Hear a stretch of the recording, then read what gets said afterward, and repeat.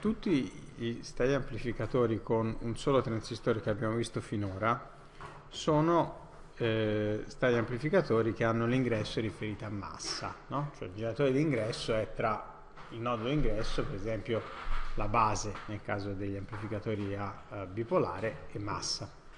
Nel caso degli, degli amplificatori con uh, FET mettevamo l'ingresso tra gate e massa. Ehm, se vi ricordate noi abbiamo guardato anche dei blocchi di amplificatore differenziale dove quindi abbiamo due ingressi e uno che ed era la differenza della tensione tra i due ingressi che veniva amplificata e nessuno dei due nodi era la massa. Questa è una cosa che è comoda avere in molti casi e noi dobbiamo modificare leggermente la configurazione rispetto a quella che abbiamo visto. Vediamo com'è che si fa.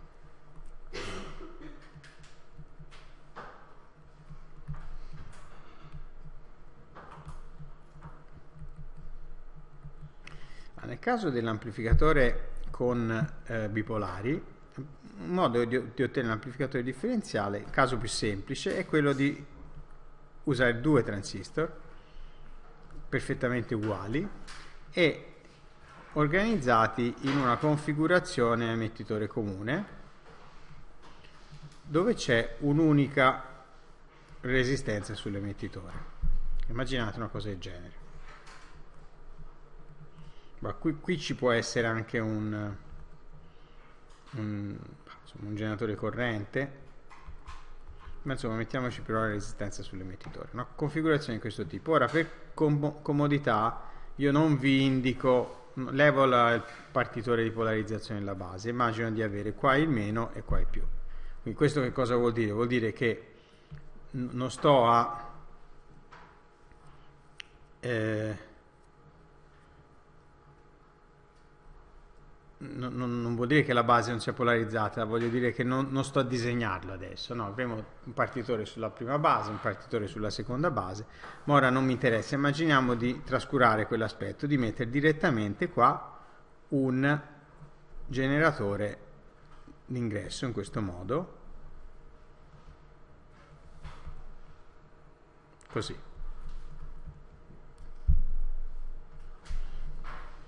Ok, Win tra più e meno. Vedete, a questo punto non è più riferita a massa il generatore d'ingresso. Riferita a massa vuol dire che un nodo è a massa. No, abbiamo eh, che in realtà tutti e due i nodi sono...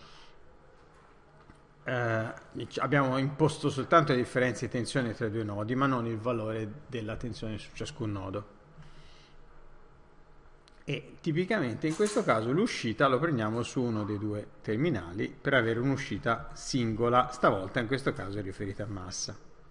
Quindi abbiamo un ingresso differenziale e un'uscita eh, non, non, differenziale, diciamo unipolare, che è una riferita a massa.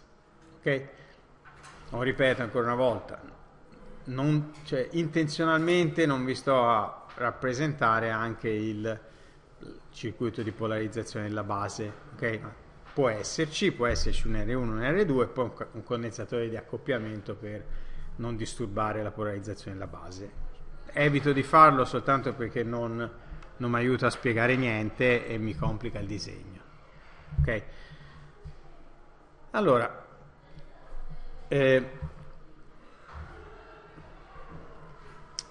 la cosa importante di questo amplificatore è che sia perfettamente simmetrico il circuito rispetto a quest'asse, no? diciamo che il mondo visto da, da, dall'ingresso più e visto dall'ingresso meno sia praticamente uguale. Okay? Che vuol dire che le due resistenze RC devono essere uguali, i due transistori devono essere uguali e devono essere anche esattamente alla stessa temperatura perché eh, devono funzionare nello stesso modo come avete visto il comportamento dell'amplificatore dipende del, del, transistor dipende dalla temperatura. Se vogliamo essere sicuri che i due transistor funzionino in modo identico devono essere anche alla stessa temperatura.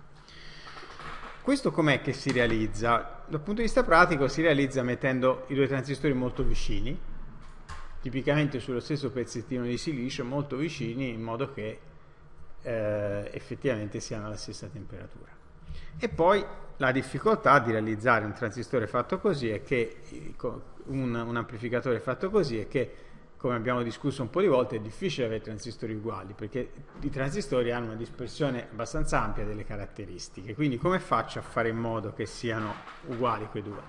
In generale, dal punto di vista della fabbricazione, non è una cosa banale e, e, e diciamo, si cerca di farli effettivamente vicini, con la stessa forma, con, con delle con un progetto per cui i due transistori sono disegnati praticamente uno dentro l'altro in modo simmetrico facendo, per far sì che siano il più possibile effettivamente uguali.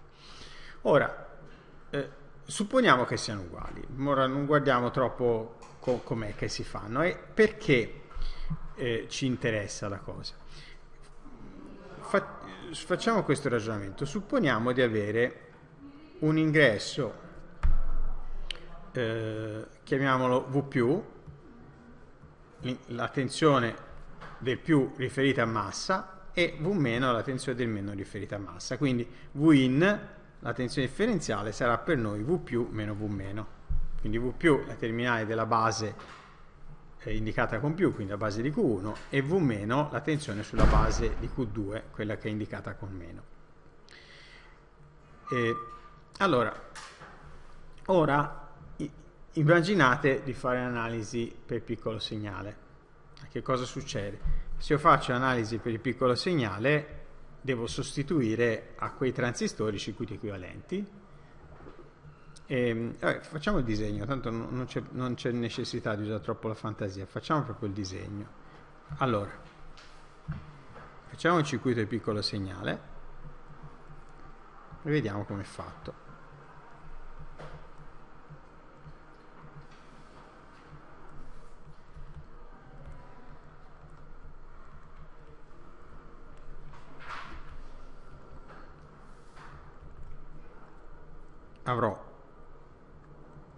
La base di Q1, la chiamo B1,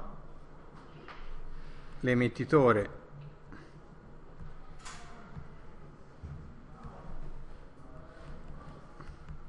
di Q1 e di Q2 sono uguali, qui ci sarà la RE, Questo, questa è massa, dal punto di vista delle, variazioni, questa è la base di Q2, la chiamo B2, l'ho indicato col meno. Okay. Qui c'è V più, beh ora la V più la posso indicare così. Vabbè, facciamo, chiamiamo V in. Questo è V meno. Il collettore è qui, del primo e il collettore del secondo che è portata a massa attraverso questo è C1 questo qui è RC questo è C2 e qui ho il circuito equivalente. Eh, facciamo il disegno per le basse frequenze anche se non conta niente non conta in realtà. Il discorso che faccio io vale anche alta frequenza ma insomma tanto si capisce una volta che lo faccio. Allora immaginate che questo sia il circuito quindi H1 su H1 questo è HF1 per IB1, la IB1 è questa qui,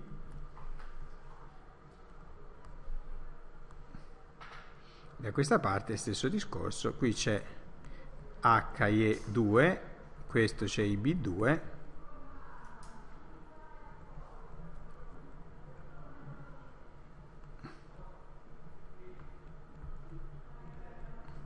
e questo sarà HF2 per il B2. Allora, il circuito è questo qua, no? Ora però dobbiamo sfruttare i ragionamenti che abbiamo fatto per la simmetria. Quindi Q1 e Q2 identici e circuito perfettamente simmetrico.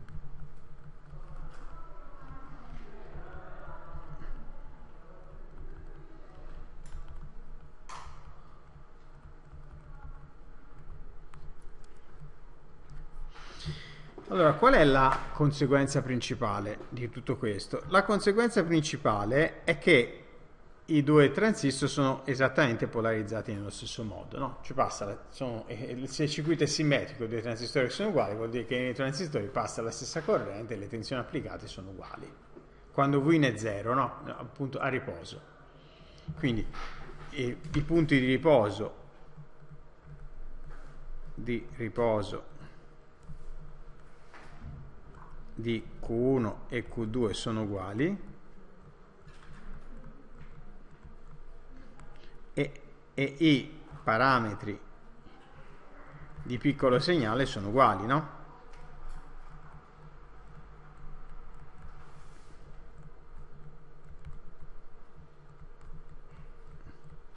Chiaro, il mondo è uguale, a destra e a sinistra.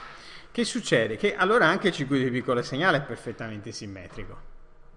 Cosa vuol dire? Quindi questa HIE1 uguale a HIE2, HF1 uguale a HF2, HE1 uguale a HE2 è tutto di nuovo simmetrico.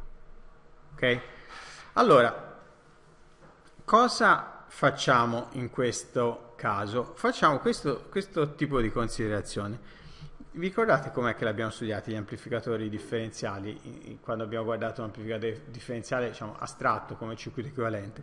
Abbiamo detto, supponiamo di applicare una tensione eh, positiva su V più e negativa su V meno. Cioè, immaginando di applicare un, due generatori separati a V più e V meno, di, di, dire che V più è uguale a V in mezzi e V meno uguale a meno V in mezzi. Cioè applichiamo una tensione uguale e opposta. E questo è quello che si chiama modo differenziale, no? Guardiamo prima la condizione in modo differenziale.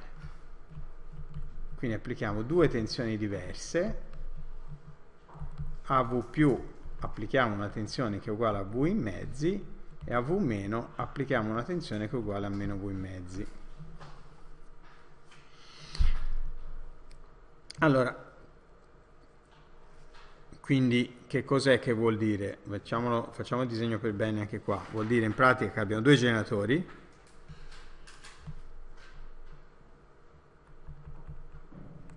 un generatore si chiama V+,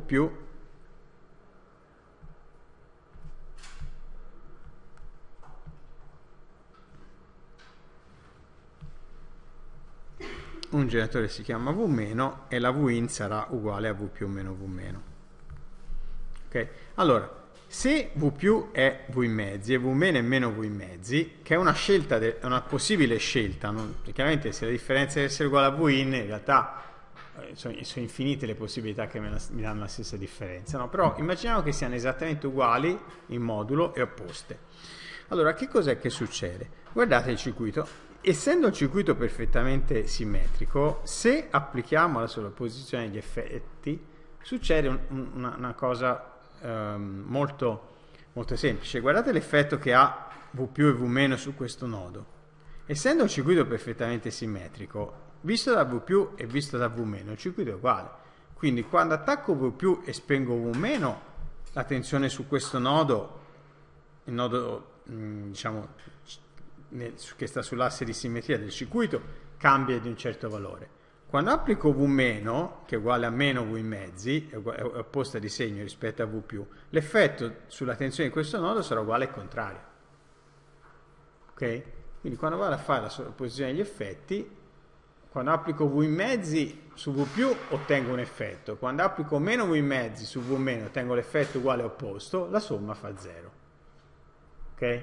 Quindi quello che succede è che quando applico una tensione differenziale, in modo differenziale all'ingresso, la tensione di questo nodo non cambia.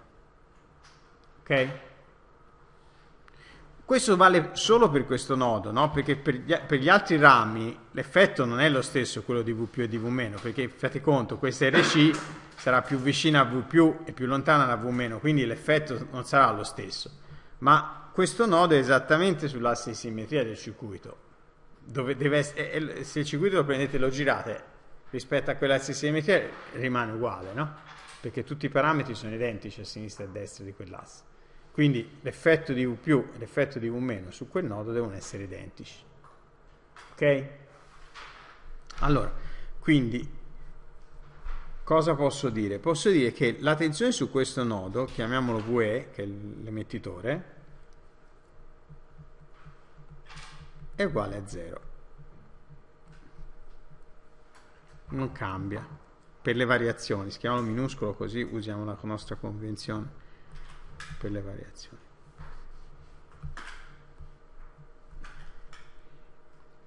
Quindi l'effetto del generatore in V più è uguale al contrario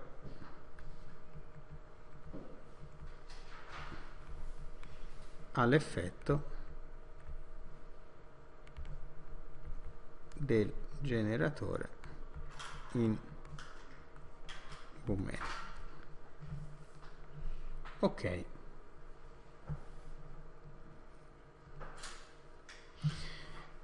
Allora, perché questo mi fa comodo? Perché vedete l'uscita io la prendo qui, no?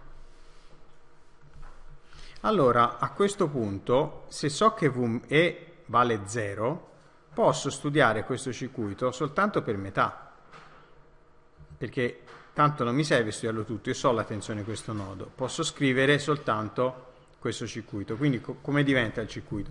Diventa fatto in questo modo, qui c'è V questa è la B2 qui c'è la tensione V che è uguale a meno V mezzi. Qui c'è HIE2 questo è l'emettitore che è massa poi qui c'è HFE2 qui c'è 1 su HOE2 qui c'è l'RC e poi c'è la massa il circuito è questo, io devo calcolare questa tensione qui tra l'uscita e massa. Vedete, questo conto l'abbiamo già fatto un sacco di volte, no? V diviso V meno quanto fa? Abbiamo già fatto, fa RC che moltiplica H, eh, RC parallela 1 su HOE2 che moltiplica HFE2 diviso HIE2. Questa è l'espressione, col segno meno.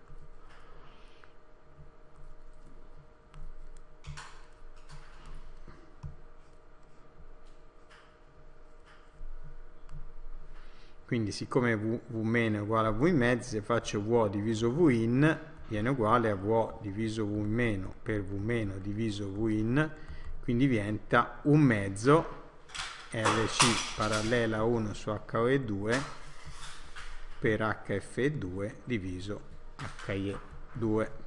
Tanto HI1 e HI2 sono uguali, no? quindi non c'è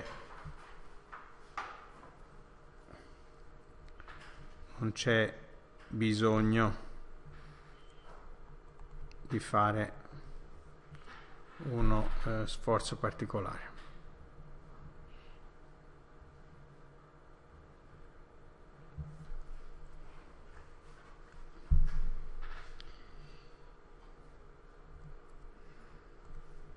Va bene?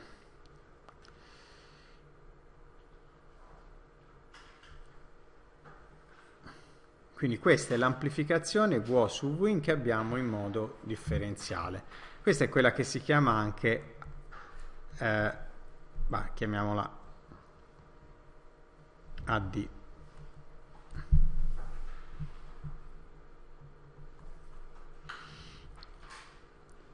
Va bene oh, per completezza è importante vedere che cosa succede invece nel modo comune se applichiamo la stessa tensione al più e al meno.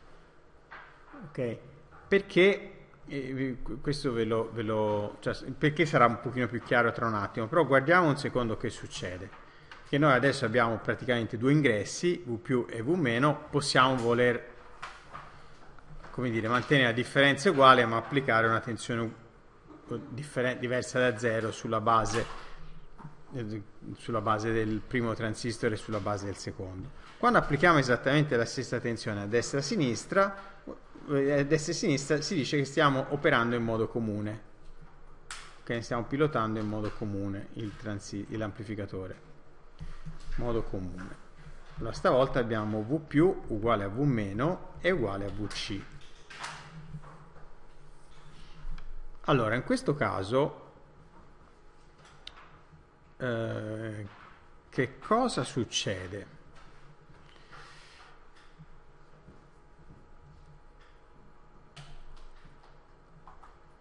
Vediamo il circuito.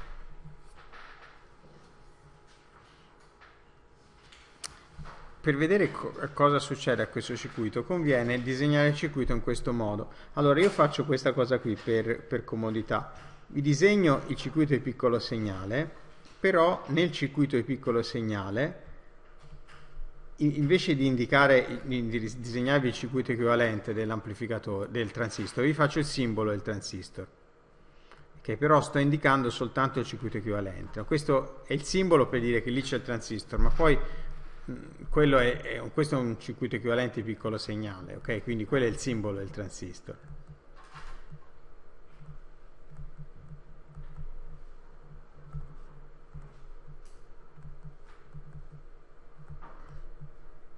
Quindi è un transistor, è un transistor linearizzato, no? Allora, io cosa faccio? Faccio un piccolo stratagemma che è quello di scrivere la resistenza RE come il parallelo di due resistenze R, di due resistenze di valore 2R, no? Non è cambiato niente ovviamente. Qui applico V e qui applico una V però in questo caso sono uguali. Vedete il circuito che, che, che ho è questo e qui faccio questa valutazione, sempre una valutazione di simmetria, no? che è questa cosa qui. Se uso la la sovrapposizione degli effetti e guardo la corrente in questo ramo che ho costruito, che ho, che ho, che ho diciamo, introdotto in modo artificioso, spezzando in due la resistenza R, quello che succede è che vedete questo ramo è di nuovo perfettamente simmetrico nel circuito, per cui se accendo V più e spengo V meno, mi spingerà una corrente in questa direzione, se accendo V meno e spengo V più, la corrente mi verrà spinta in quell'altra direzione per simmetria, no? perché è come se avessi eh, come dire, eh, disegnato lo stesso, avessi eh, girato su se stesso il circuito. No? Il circuito è lo stesso visto da V più visto da V meno. Se V più e V meno sono uguali in modulo e in valore, l'effetto di queste due correnti è uguale al contrario e quindi quando vado a fare la sovrapposizione degli effetti la corrente risultante è nulla. Quindi in questo ramo fittizio che ho introdotto in pratica non passa corrente che se V più è uguale a V meno, tutto si, tutto si sposta in modo uguale a sinistra e a destra e in quel ramo che va da sinistra a destra la corrente non passa. Ok? Allora, perché mi fa comodo osservare che la corrente non passa? Perché se in questo ramo non passa corrente, io posso togliere il ramo, non altero niente, d'accordo? Per cui posso studiare soltanto un circuito più semplice, quello dalla parte dove prendo l'uscita, la V la prendo qui, no? Posso quindi per la sovrapposizione degli effetti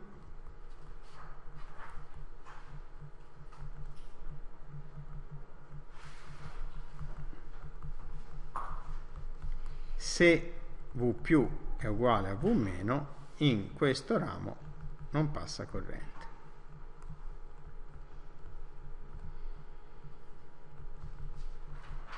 Allora, quindi posso disegnare di nuovo solo una parte, che vedete, se in quel ramo non passa corrente vuol dire che i due circuiti sono separati.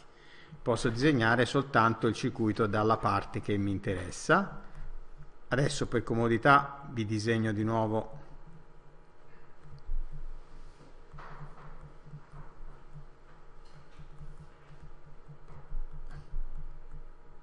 questo è l'emettitore, qui c'è una resistenza 2RE qui c'è HIE2 e qui c'è V. L'uscita la prendo qua e quindi so quanto fa V su V perché l'ho già calcolata questa cosa qui, no? Vi ricordate? Questa è l'amplificazione di un amplificatore a emettitore comune con resistenza sull'emettitore. Quindi posso scriverla direttamente, semplificando un po' perché non ho R1, non ho R2, po- posso prendere l'espressione che ho già ricavato, ora ve la scrivo direttamente, mi viene una cosa del genere. V su V è uguale a meno HF' per RC, mi ricordate quando c'è l'HOE uso di solito un HF', diviso HIE più HF' per 2RE. Quindi questa espressione qua.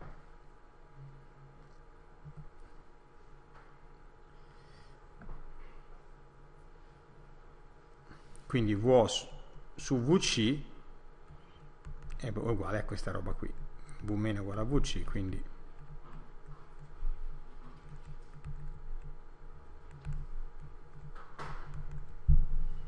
questa quantità noi la chiamiamo AC cioè amplificazione in modo comune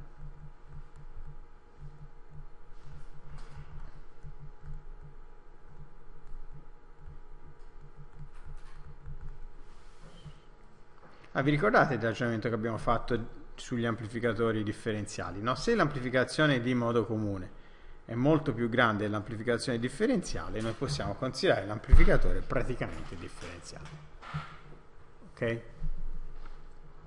Com'è che si mettono insieme le due cose? Proviamo a rivederlo ora che è passato un po' di tempo da quando l'abbiamo visto la prima volta. Noi in generale cosa abbiamo?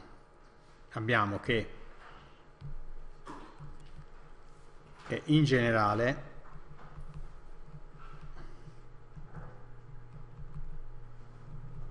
abbiamo due ingressi V più e V meno. Noi chiamiamo il, come V in la differenza tra i due ingressi e come VC il valore medio tra i due ingressi. Va bene? Quindi questa è la, la, quindi la differenza e questo è il valore medio. Allora a questo punto vedete noi possiamo esprimere ciascuno dei due ingressi in funzione della differenza e del valore medio perché in pratica noi possiamo scrivere V vedete sfruttando questa espressione vabbè ve lo faccio vedere in, facendo vedere tutti i passaggi però sfruttando questa espressione noi cos'è che possiamo scrivere? Eh, vediamo un pochino se ve lo riesco a far vedere.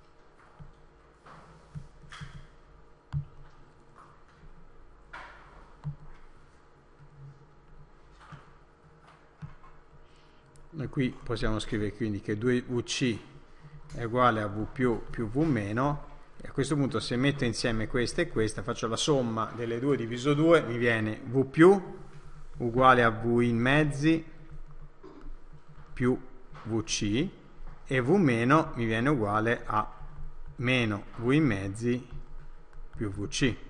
No, quindi se faccio la somma mi viene V più, se faccio la differenza diviso 2 mi viene V meno.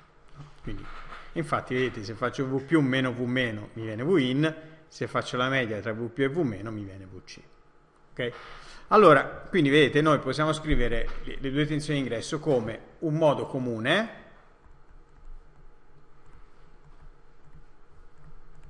più un modo differenziale.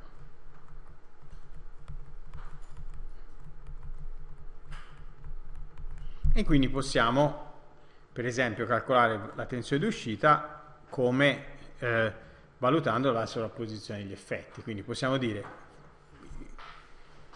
calcolo la tensione d'uscita prima supponendo di avere soltanto in modo differenziale, poi supponendo di avere soltanto in modo comune e poi sommando le due tensioni, no? perché effettivamente siamo in, in regime lineare, non abbiamo linearizzato il circuito. Quindi che cosa vuol dire questo? Che la tensione d'uscita sarà uguale a l'amplificazione differenziale per il modo differenziale più l'amplificazione modo comune per il modo comune.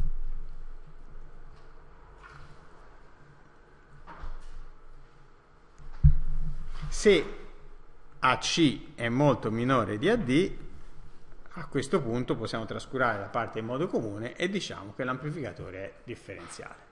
Vedete, nel nostro caso è quello che vorrei far vedere che vale questa condizione, cioè per come è disegnato l'amplificatore, effettivamente questa condizione vale. Vi ricordate qual è il parametro che ci dice quanto vale? C'è un, questo coefficiente che si chiama CMRR che è il rapporto di AD su AC, che chiaramente deve valere un numero molto grande se AC è molto minore di AD.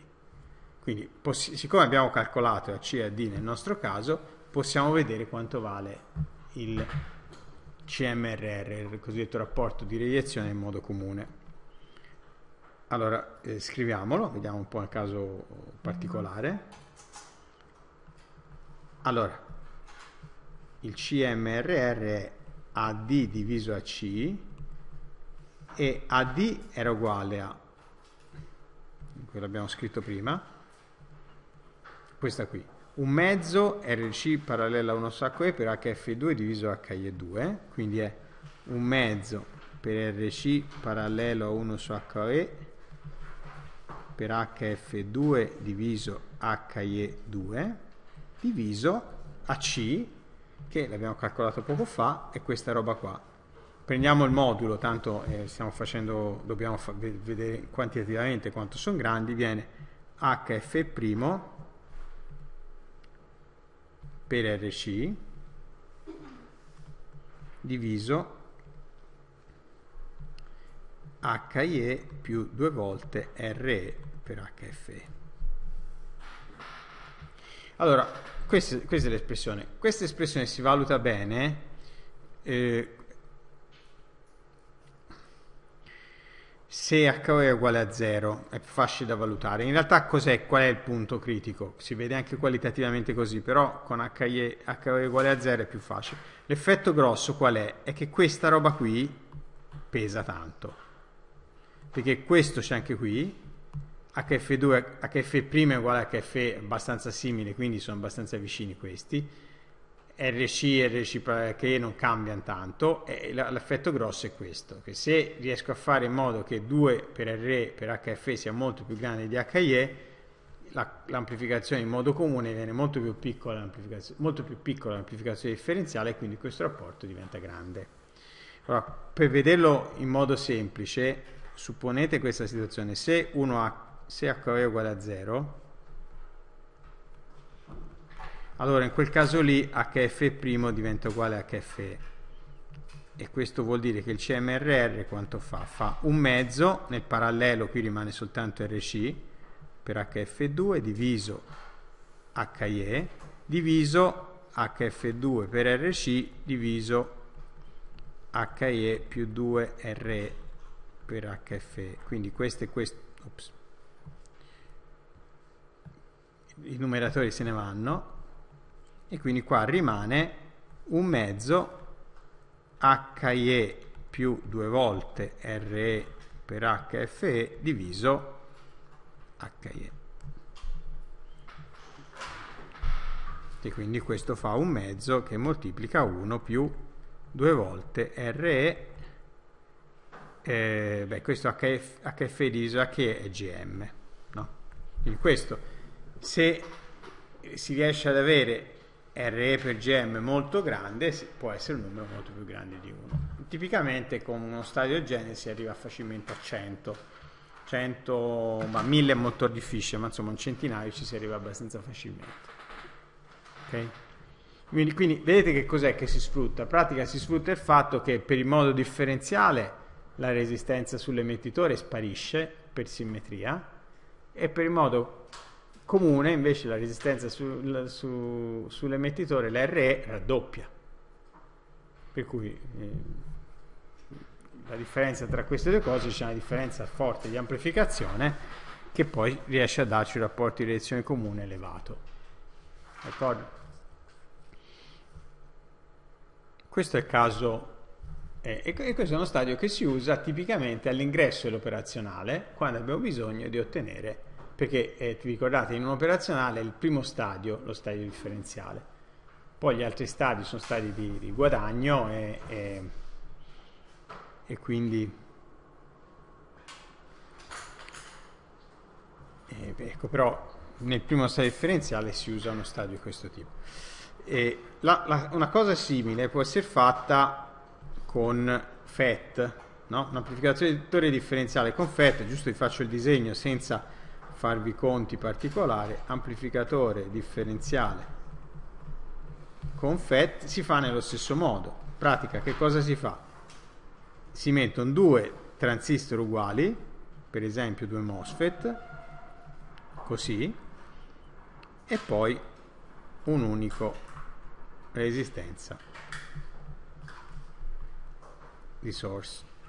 Questo in realtà ancora meglio è mettere un generatore corrente, ma insomma è la stessa cosa alla fine, dal punto di vista pratico, un generatore corrente con resistenza serie, con resistenza parallelo, per il piccolo segnale rimane solo la resistenza parallela al posto di RS, quindi non cambia niente, no? quindi questa sarebbe la V questa sarebbe la V e se facciamo due conti viene fuori che il rapporto di relazione in modo comune in questo caso viene uguale a un mezzo che moltiplica eh, in questo caso l'HIE non conta, viene GM per RS, per 2RS, quindi viene GM per RS. Facendo due conti è questo quello che si vede. Stesso concetto, no? Esattamente uguale. Vedete, l'unica cosa che cambia tra questo e il caso precedente è che qui non c'è HIE, poi per il resto il circuito è esattamente uguale. Ok?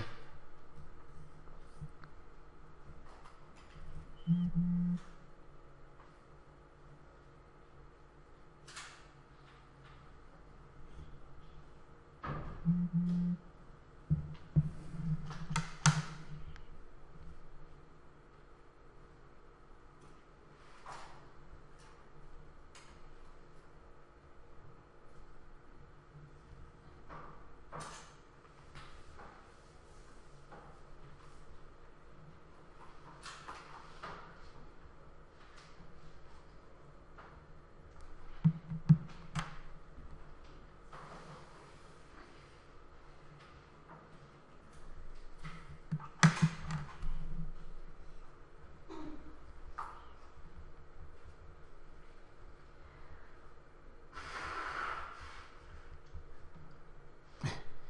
Scusate, bimba è rimasta fuori casa. Allora, uh, dunque, ultimo, ultimo, punto, sempre per uh, chiudere questo, questo uh, tema. Una, una, ricordate um, il ragionamento che abbiamo fatto sugli amplificatori multistadio? In particolare, tra gli amplificatori multistadio abbiamo visto amplificatore operazionale.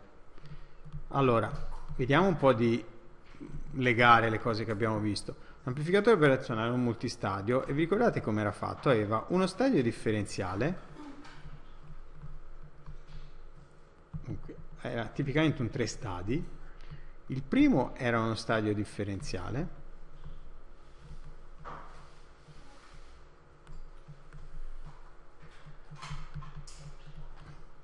quindi qui c'è Win poi il secondo era uno stadio di guadagno, ricordate che serviva a ottenere uno, un guadagno elevato e poi siccome di un amplificatore multistadi la resistenza di uscita è la resistenza dell'ultimo stadio, il secondo stadio serviva ad avere una resistenza uscita bassa perché l'amplificatore operazionale doveva avere una resistenza d'uscita idealmente nulla, no? Quindi più o meno è fatto in questo modo. Quindi Primo stadio aumenta il CMRR e mi aggiusta la resistenza d'ingresso. L'ultimo stadio mi impone la resistenza d'uscita, lo stadio centrale mi impone l'amplificazione e così impongo tutti i parametri, non solo l'amplificazione ma tipicamente anche il, il limite superiore di banda, no? Perché vi ricordate si metteva una capacità tra ingresso e uscita dello stadio di guadagno invertente per fissare il limite di banda. Cioè, questa era la scelta. Ora, noi amplificatori operazionali possiamo farli sia con bipolari sia con MOSFET o con FET in generale, in generale MOSFET poi è quello che si fa. Ora, siccome abbiamo visto diversi stadi con singolo transistore fatti per ciascuno di questi eh, componenti, se volessimo fare un amplificatore differenziale a bipolari, che tipo di stadi sceglieremo? No? come lo stadio differenziale noi lo facciamo con un differenziale a bipolari, come l'abbiamo fatto vedere adesso, quindi stadio differenziale a bipolari.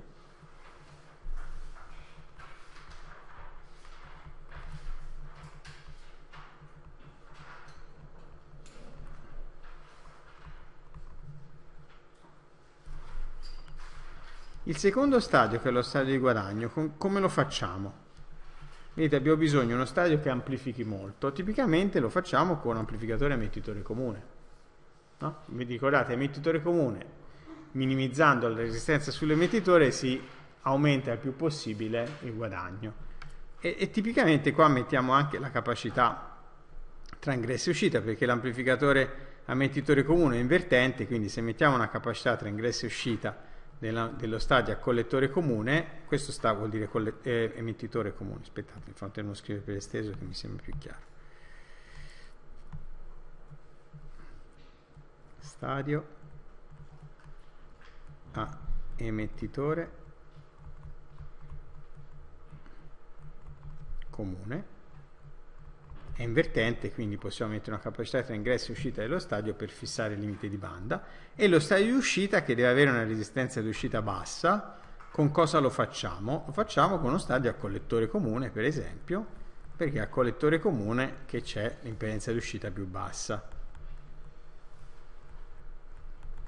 E approssimativamente così sono fatti. Ora io così un po' semplificato rispetto alla realtà, spesso un pochino più è facile che abbiano, che abbiano più di tre stadi, ecco. però insomma approssimativamente abbiamo visto l'emettitore comune è quello che ci può dare un'amplificazione più grande e quindi lo usiamo come stadio di guadagno, collettore comune ci dà la, la resistenza di uscita più bassa e quindi lo usiamo come stadio di uscita e lo stadio differenziale come abbiamo fatto. Okay? Se invece vogliamo farlo a FET, a MOSFET in generale, noi cosa faremo? Faremo uno stadio differenziale a MOSFET a FET, scrivo FET perché è più corto ma in pratica vuol dire MOSFET eh. JFET per fare amplificatori è raro e poi cosa abbiamo? abbiamo uno stadio di guadagno e come si fa con i FET lo stadio di guadagno? va fatto con uno stadio source comune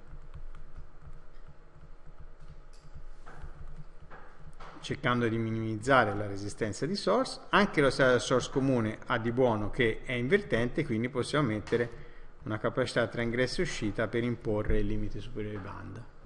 E poi per finire lo stadio d'uscita che deve aggiustare la resistenza d'uscita, possiamo, perché deve abbassare la resistenza d'uscita in caso dell'operazionale, lo facciamo con uno stadio a drain comune che ha la resistenza d'uscita più bassa di tutti. Vedete qua alla fine lo schema è questo.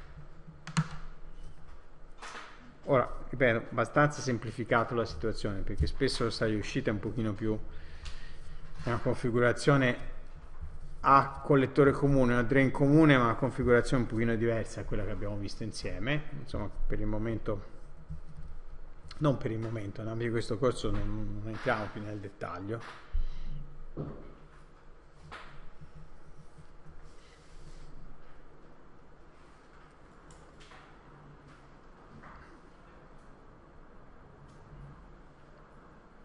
Diciamo queste sono le configurazioni che adoperiamo. Ok?